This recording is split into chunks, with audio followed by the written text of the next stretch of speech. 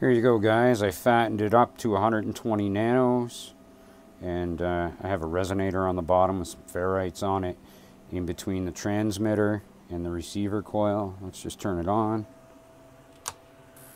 We are pulling around 40 to 50 watts. You can see the bulb is lit. I'm going to short this. You see there's power on the resonator. Lots of it. I'm shorting it.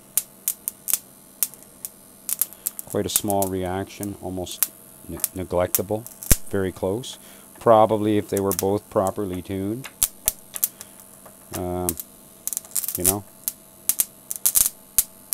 Anyways, that seems to work pretty good. I haven't turned it up. I haven't done any other experiments. I just thought I would throw on. I fatten up the capacitance. I've played enough with the little shit. Not that that's big. That's still nothing. But uh, it's a, it's you know, double what it was. So let's turn it up. See how bright this bulb gets. Probably gets reasonably bright, or maybe it doesn't change it. I don't know. There's 100 watts. Let's see what 100 watts on this looks like.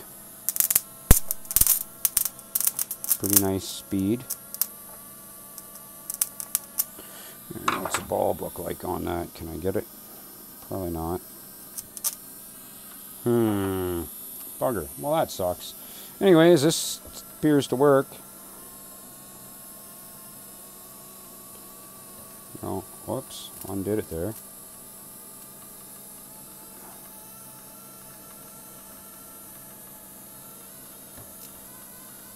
So, uh, you know, obviously the range isn't uh, quite what you want. I just grabbed these coils, thought I'd throw them together, right? But uh, everything can be easily increased, adapted, earth grounded, you know. That might make a difference. Alright. Well, there you go. Fattened up the capacity. Look at the old gap just a rip in there. What's the frequency? Things just chattering and everything. Holy shit, 200 watts.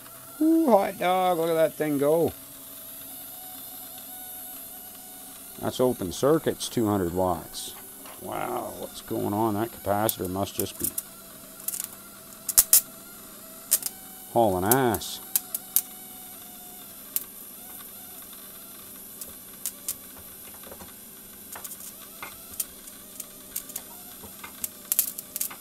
Barely even short the thing out. That don't hardly slow it down at all. That brings the watts down on the input. That's interesting. 160 watts. Good and bright. And uh, peaks at 200 watts. Oh, what's going on there? I'm taking a load off and it's reducing the input. Well, that's quite interesting.